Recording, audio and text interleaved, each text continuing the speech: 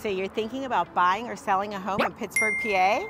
In this video, we're going to talk all about transportation in Pittsburgh and the pros and cons of the various modes of transportation. I'll take you all around the city and show you all the different ways that us Pittsburghers get around.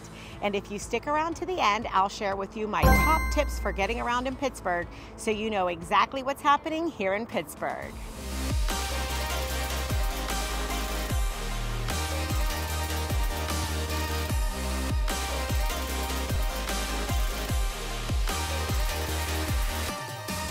If this is your first time to the channel and you want to know everything about living in Pittsburgh, then subscribe below and tap that bell for notifications so you can be the first to know about the current market here in Pittsburgh. I'm Krista Lorenzo, and I get calls and emails every day from people just like you looking for help on making a move in Pittsburgh, and I absolutely love it. Whether you're moving in one week or one year, give me a call, shoot me a text, or send me an email so I can help you make a smooth move in Pittsburgh. Today we're here at the Duquesne Incline with amazing views of downtown and the North Shore. Pittsburgh is a city that seamlessly blends history and innovation. While it offers various modes of transportation to meet diverse needs, each comes with its own set of advantages and challenges. So let's delve into the pros and cons of getting around in Pittsburgh. Public transportation. The Port Authority oversees Pittsburgh's public transportation network, including buses, light rail, and inclines. Buses. So the pros of buses are they're economical, there's an extensive network, and they're eco-friendly. The cons are it can be slow during peak hours, some areas are poorly served, and the potential for delays. The T, our light rail system. The pros are it's efficient, punctual, and avoids traffic. The cons, limited routes because it mainly serves the South Hills and the downtown area. The incline, a historic mode of transportation. My grandma used to take the incline to school. Pros, scenic views. One of the most unique aspects of taking the incline is the stunning panoramic views of the city that it offers. This is what makes it such a great tourist attraction. It's a historical experience. Riding the incline is a way to experience a piece of Pittsburgh's history as these have been in operation since the late 19th century. It avoids traffic. Because it's situated on a hillside, it avoids the road traffic down the steep slopes. Accessibility. The inclines are wheelchair accessible, making them a convenient option for people with mobility issues. Affordability. It's a relatively inexpensive way to move between the higher and lower parts of the city, especially compared to driving and parking. So what about those cons? very limited coverage. The two inclines only serve a very specific area of the city, limiting their utility as a comprehensive mode of transportation. Tourist crowds. Being a popular tourist attraction, the inclines can get crowded, especially during peak seasons or hours. The schedule. While generally reliable, the inclines have a set hour of operation that may not align with everyone's needs, particularly late at night or early in the morning. Speed. While they are efficient for what they're designed to do, inclines are not the quickest form of transportation for covering long distances. Weather sensitivity. Severe weather conditions may result in temporary closures affecting reliability. Our inclines offer a unique historical and scenic method of transit. While they are not a one-size-fits-all solution, they remain an iconic and functional part of our transportation landscape. So outside of public transportation, we have a lot of other options. Biking. The pros are it's eco-friendly, we're increasingly seeing more bike-friendly lanes and trails, and it's great for a short commute but it's limited in bad weather and we have a very challenging hilly terrain. So we also have to consider safety concerns in busy streets. Bike share.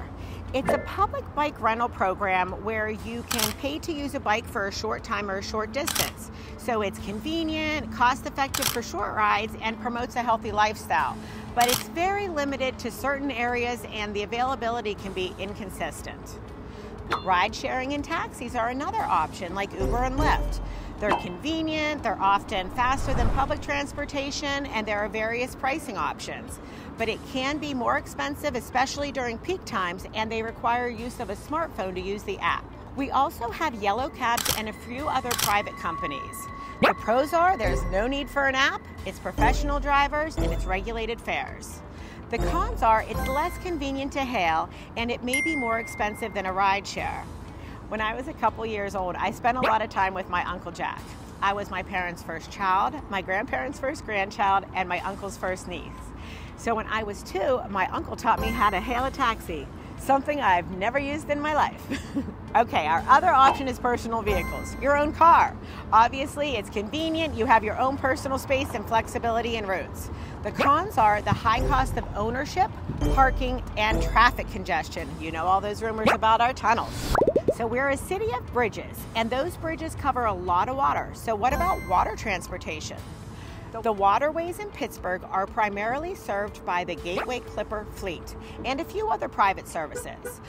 It's generally not considered a primary means of daily commuting for most residents. However, they do offer some advantages and some drawbacks.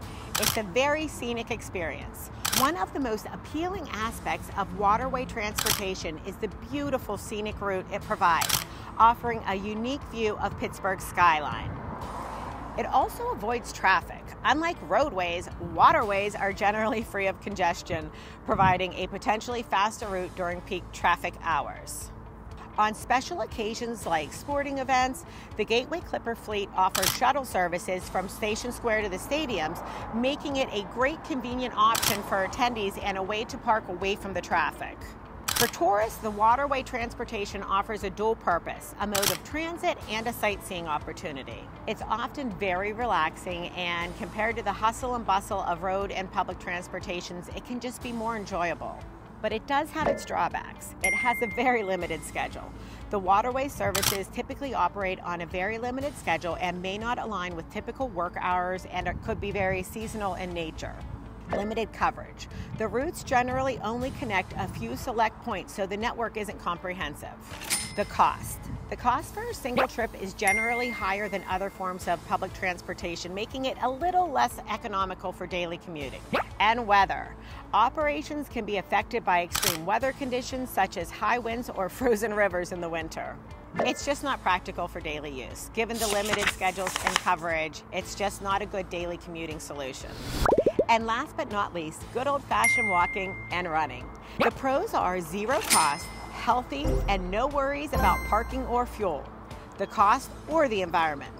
The cons, it's not practical for too long of distances, safety concerns at night or on busy roads, and it can be really weather dependent.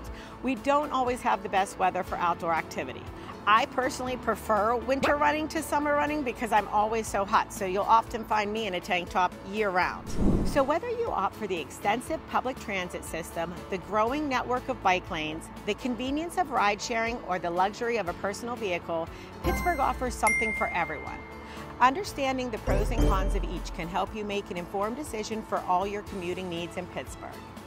So have fun, explore the city, and allow time to plan your route and allow extra time for traffic during those peak commuting times like sports and concerts. So let's go check it out. And like I said, whether you're moving in one week or one year, give me a call, shoot me a text, or send me an email so I can help you make a smooth move in Pittsburgh. Until next time, I hope to show you around town. Let's go.